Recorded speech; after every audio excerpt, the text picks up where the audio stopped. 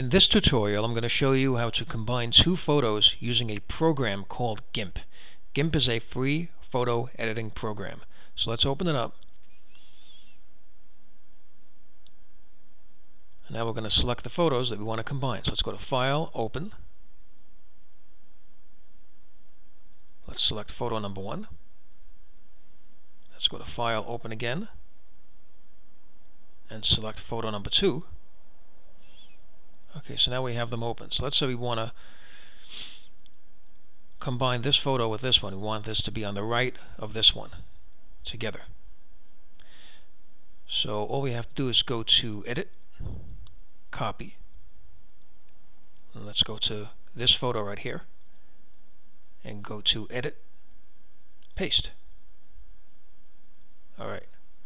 So now what we have to do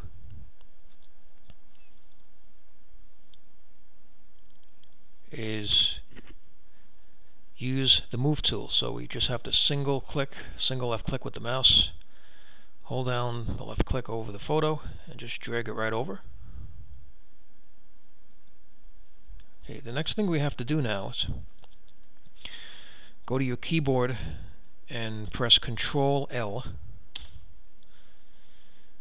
Now what you have to do is you're going to have the layers box right here. What you have to do is single click over floating selection pasted layer.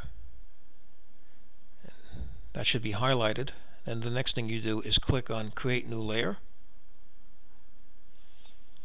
Okay, now all you have to do after that's done, as you can see, it's not fitting on the canvas. That's why the photo that we're combining is not showing. So all you simply have to do is go to image, fit canvas to layers, and now you can see both photos and they're combined. Okay, to save it, you just go to File, Save As. Okay, let's name it. Let's call it Two Photos. I'm going to save it on my desktop. Click Save, Export, Save, and now it should be on the desktop, so let's go look at it. And there it is. And there you go. It's combined the way we did it. So, hope you found this video useful. If you have, please show your support for this channel by subscribing. Feel free to leave comments.